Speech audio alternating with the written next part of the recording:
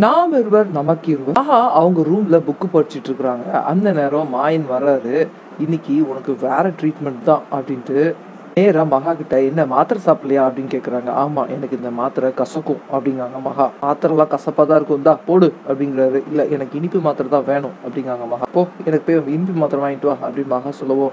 மாயன் சொல்றாரு இந்த பாரு விளையாடுற வேலை வச்சுக்காத. உனக்கு மாத்திரை உனக்கு மட்டும் இல்ல வயிற்றுல உள்ள குழந்தைக்கும் தான். என்ன மகா பாப்பாவுக்கு மாத்திரை கொடுக்கணும்னா பிறந்ததுக்கப்புறம் கூட என்னைய விட்டுரு. என்ன மகா இப்படி அடம்பிடிக்கிற? அப்படின்னா அப்படின்னு எனக்கு மாத்திரை சாப்பிட இஷ்டம் இல்லை வெளில போ அப்படின்னு மகா சொல்லவும் என்ன ரொம்ப தான் அடம் பிடிக்கிறா மகாவை பார்க்கவும் இங்கே மகா உடனே என்ன இப்படி பார்த்துட்டு இருக்கிற? என்கிட்ட அடி வாங்கினதெல்லாம் மறந்து போச்சோ? உடன் சொன்னதை கே வெளியில போ அப்படின்னு மகா சொல்றாங்க. உடனே மாய் நம்ம ட்ரீட்மெண்ட் அப்போ ஆரம்பிச்சிட வேண்டியதான் இன்னும் பார்த்துட்டே இருக்காரு உடனே மகா. என்ன? நேற்று என் கைப்பிடிச்சு இழுத்த மாதிரி டெய்லி நடக்கணும்னுச்சியோ கும்பிடுவேன் கும்பி ஆஹா தேவையில்லாம சா பேசாத மாத்திரையை சாப்பிடு அப்படிங்கிறாரு. ஓ நீங்க மிரட்டுற மாதிரி பேசுனா நாங்க உடனே மாத்திரை சாப்பிட்ருவோமோ நான் போட மாட்டேன் போடா அப்படின்றாங்க. ஓ அப்போ நீ போட மாட்ட. இப்போ நீயா இந்த மாத்திரை எடுத்து போடலனா அப்படின்ட்டு பின்னாடி இருந்து ஒரு குச்சி எடுக்கிறாரு. இன்னும் மகா பயப்படுறாங்க நிஜமாவே அடிச்சிருவானோ? மகா நீ எல்லாம் அடிக்க மாட்டேன்னு எனக்கு தெரியும். ஓவரா சீன் போடாத. குச்சியை தூக்கி போட்டு போ அப்படிங்கிறாங்க. கரெக்ட் மகா நானும் அவனை அடிக்கவே மாட்டேன். ஆனால் ட்ரீட்மெண்ட் இருக்குல்ல அது யாருக்குனாலும் செய்ய தானே செய்யணும். எல்லாத்துக்கும் கரெக்டாக இருக்கணும்ல. இதை வச்சு சும்மா இதை வச்சு வெளுத்தோன்னு வச்சுக்கேன் உடம்புல எந்த வச்சிருந்தாலும் ஓடி போயிருமா? பிரச்சனை இதால சரியா போகுதா? இல்லைன்னா இதை வச்சு அடிச்சதுனால ஜாஸ்தியான பிரச்சனை காணாம போகுதான்னு தெரியல. மொத்தத்துல ட்ரீட்மெண்ட் வேலை செய்யும். நம்ம ஒரு வாட்டி ட்ரை பண்ணி பார்க்கலாமா மகா? அப்படின்னு கூப்பிடுறாரு. ஒன்று மகா பயப்படுறாங்க. ஐயோ இவன் நிக்கிற விதமே சரியில்லையே. ஐயோ நிஜமாவே நம்ம அடிச்சிருவானோ? அப்புறம் சரி சே நம்ம இதுக்கு அடி- அடிக்க போகிறோம் ஐயோ ஒரு வேளை குணப்படுத்துற நடிச்சானா? அப்போ இதை அப்படியே மெயின்டைன் பண்ணு அப்படின்னு மா மா வந்து மனசுக்குள்ளேயே நினைக்கிறாங்க. என்ன அப்படி நீ மாத்திரை போட்ட மாட்டேன்னா அப்போ ட்ரீட்மெண்ட்டை ஸ்டார்ட் பண்ண வேண்டியதுதான் அப்படின்னு ஓங்கி அடிக்க போகிறாரு இவங்க கண்ணையும் காதையும் பொத்திட்டு அப்படின்னு கத்துறாங்க. சப்புன்னு அவர் கையிலே அவர் அடிச்சுக்கிறாரு. அவரே அவர் கையில அடி இட்டின்னு அடிச்சுக்கிறாரு. மாத்திரை போட்டுக்கிறியா? மாத்திரை போட்டுக்கிறியான்னு உன மகா ஏய் என்ன பண்ற? நீ எதுக்கு அடிச்சுக்கிற? அப்படின்னாங்க. மாத்திரை போட்டுக்குவியான்னு இவர் சொல்லிக்கிட்டே இருக்கிறாரு. திருப்பி திருப்பி மாத்திரை போடுறியா? மாத்திரை போடுறியா? மாத்திரை போடுறியான்னு அடி- கேட்டு கேட்டு அடிச்சுக்கிட்டே இருக்கிறாரு. இவங்க சரி போடுறேன். அப்படின்னு கத்துறாங்க மகா. சரி மாத்திரை போடுறியான்னு ஆமா அப்படிங்கிறாங்க. சரி எடுத்து போடு. மாத்திரை மகா போட்டாங்க. உடனே பரவாயில்லையே இந்த ட்ரீட்மெண்ட் நல்லா இருக்குல்ல? இனிமே நீ ஏதாவது இப்படி பண்ணினா இந்த மாதிரி அடி விழுந்துக்கிட்டே இருக்கும் அப்படின்ட்டு மாயன் சொல்கிறாரு உடனே ஏன் இப்படி பைத்தியம் மாதிரி பண்ற? நீ மாத்திரை சாப்பிடணும்ல. சரி இனிமே நீ பண்ணாத. நீ இப்படி மாத்திரை சாப்பிட அடம் பிடிக்காத இங்க பாரு இப்ப நான் சாப்பாடு எடுத்துட்டு வருவேன். சாப்பிட மாட்டேன்னு ஏதாவது அடம் பிடிச்ச அப்புறம் அடுத்த ட்ரீட்மெண்ட் தான். புரியுதா? அப்படிங்கிறாரு. ம் அப்படிங்கிறாங்க மகா. உடனே ஒரு மனசுக்குள்ளே நம்ம கிட்டே நீ நடிக்கிறியா? அப்படின்னு அவருக்குள்ள மனசுக்குள்ள சிரிச்சுக்கிட்டு வெளில போறாரு. இவன் என்ன புது ரூட்ல போறான்? இவன் எப்படி எல்லாம் பண்ண போறான்னு தெரியலையே அப்படின்னு யோசிச்சுட்டு இருக்கிறாங்க மகா. மாயன் போனதுக்கு அப்புறம் அதுக்கப்புறம் மகா வந்து ஆப்பிள் சாப்பிட்டுட்டு இருக்கிறாங்க.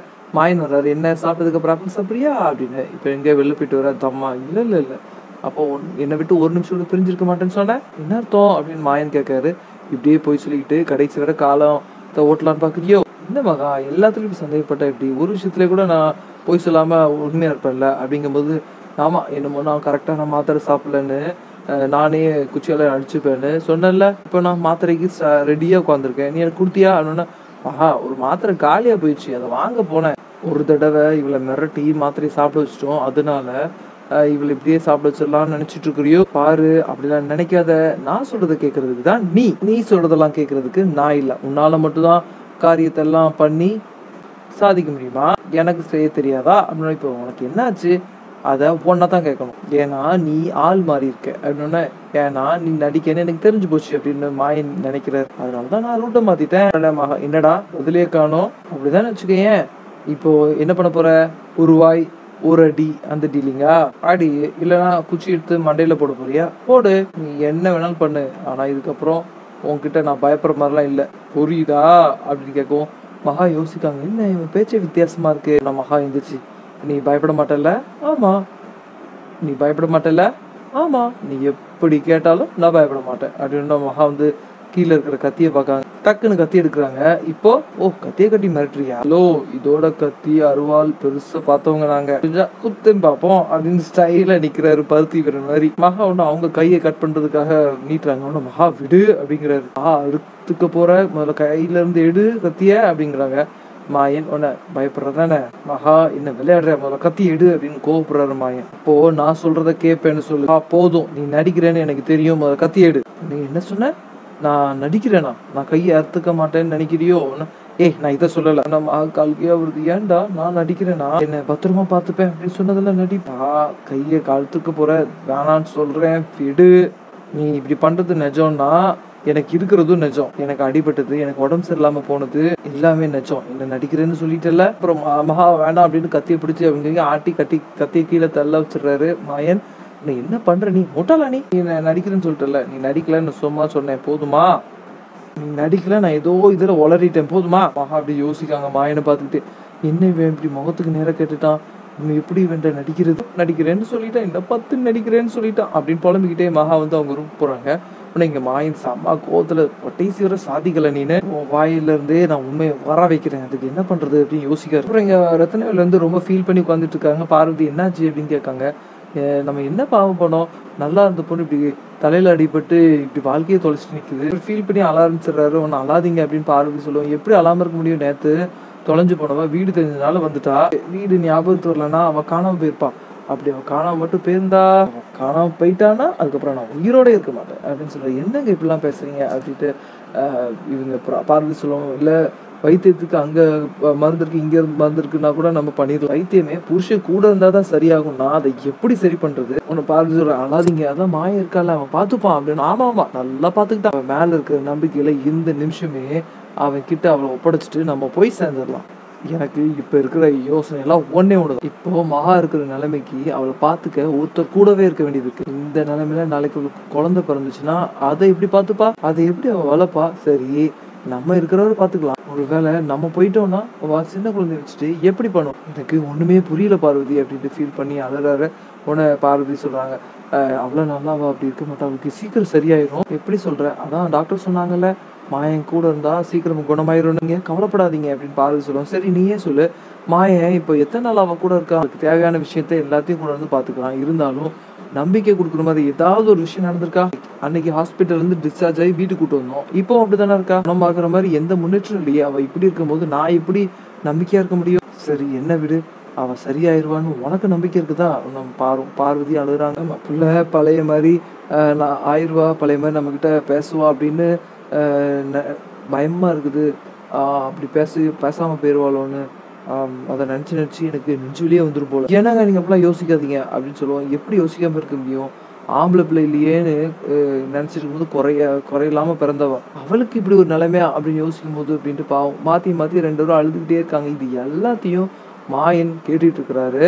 மாமா நீ தேவையில்லாம வருத்தப்படாத அவன் என் மேல உள்ள கோவத்துல இப்படி நடிச்சுக்கிட்டு இருக்கிறா. இந்த உண்மை தெரியாம நீயும் அத்தையும் கஷ்டப்பட்டுட்டு இருக்கீங்க. என்னால ஆரம்பிச்ச பிரச்சனையை நானே ஒரு முடிவுக்கு கொண்டுட்டு வரேன். ரொம்ப ஓவரா போயிட்டு இருக்கா. அதுக்கு ஒரு ஃபுல் ஸ்டாப் போட்ட வேண்டியதான் அப்படி யோசிச்சுட்டே நிக்கிறாரு. அப்புறம் மாயன் வந்து போன்ல யார்ட்டையோ பேசிட்டு இருக்கிறாரு. இந்த மாதிரி வீட்டுக்கு இப்படி வழி வழி வழி வேற சொல்லிட்டு இருக்கிறாரு.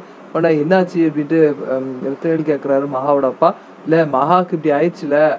அதான் நான் வந்து ட்ரீ- ஒரு ட்ரீட்மெண்ட் கொடுக்கறதுக்காக ஒரு சாமியாரை வர வச்சிருக்கிறேன். திட்டுறாரு. அறிவு இருக்கா? என்ன உனக்கு?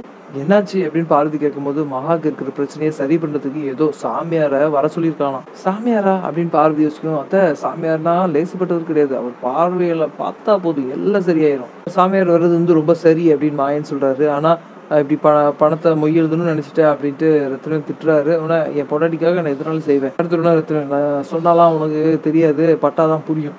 அப்புறம் பார்த்தா காரில் வந்து சாமியார் என்ட்ரி வேற யாரும் இல்லை அது இவர் மாயனோட ஃப்ரெண்டு மாணிக்கம். உடனே மாயா அப்படின்னு கூப்பிட்றாங்க உன்னை மாயன் ஓடி வந்து வாங்க சாமி வாங்க அப்படின்னு கூப்பிட்றாரு. உன்னை கால் எடுத்து வாசலை வச்சோடனே இங்கே ஒரு பிரச்சனை இருக்கு அப்படின்னு கண்ணை முடிக்கிட்டு சொல்கிறாரு சாமியார். உடனே அதான் சாமி உங்களை வர சொன்னேன் அப்படின்னு சொல்லிட்டு அப்படி முணங்குறாரு. பெர்ஃபார்மன்ஸ் மட்டும் குறைஞ்சது உனக்கு அப்புறம் இருக்குடா அப்படின்னு. அதுக்கப்புறம் சரி வாங்க சாமி வாங்க சாமி அப்படி உள்ள கூப்பிடுறாரு. சாமியார் மந்திரம் தந்திரம் இந்த மாதிரி எல்லா சக்தியும் அது நல்லா அறிஞ்சு புரிஞ்ச சாமியார். அப்படின்னோடனே உள்ள வாங்க சாமியார் அப்படின்ட்டு இவங்கள்ட்ட இன்ட்ரடியூஸ் பண்ணுறாங்க பார்வதிக்கும் ரத்னவேலுக்கும். உடனே இங்கே சாமியார் என்ன ரத்னவேலு? உடனே அது எப்படி என் பேர் உங்களுக்கு தெரியும்? அப்படின்னு ரத்னவேல் கேட்கவும் அது மாயன் என்கிட்ட முன்னாடி எல்லாத்தையும் சொல்லிட்டான். அப்படின்னு வித் அப்புறம் முறைக்கிறாருமா ஐயோ வளர்ட்டணும் அப்படி சாமியார் கூட பேசிட்டு இருக்கோம்னு அடுத்து சாரதா வராங்க. என்னாச்சு? அப்படின்னா இல்லை மகா உடம்பு சரியில்லை இல்லாத சாமியார் கூட்டு வந்திருக்கிறான் மாயன் அப்படின்னு பார்வதி சொல்கிறாங்க உடனே அவங்க ஒரு மாதிரி பார்க்காங்க. ஐயோ சா சந்தேகப்படுறாங்களே கண்டுபிடிச்சிருவாங்களோ அப்படின்ட்டு இங்கே மாயாண்டி முருகேசன் முருகேசன் அவர் பேர். அப்புறம் அவர் போய் இந்த ஜாமான வைக்கிற இடத்துல போய் பண்ணணும் அப்படின்ட்டு அவர் போகிறாரு உடனே ஓவர் ஆக்டிங் பண்ணி மாட்டிக்காத முருகேசா அப்படின்ட்டு அவர் புலம்பிகிட்டே போகிறாரு என்ன மாயா இதெல்லாம் ஏமாத்து வேலை அப்படின்ட்டு சாரதா சொல்கிறாங்க ஐயோ அப்பெல்லாம் சொல்லாதீங்க. நீ ஒரு நேரம் நம்பி பாருங்க. மாயா என்ன பண்ண போறாரு? அப்படின்னு தெரிஞ்சு கேட்கும். அதுதான் சஸ்பென்ஸ் அப்படின்னு சிரிக்கிறார் மாயா. அதோட முடியுது.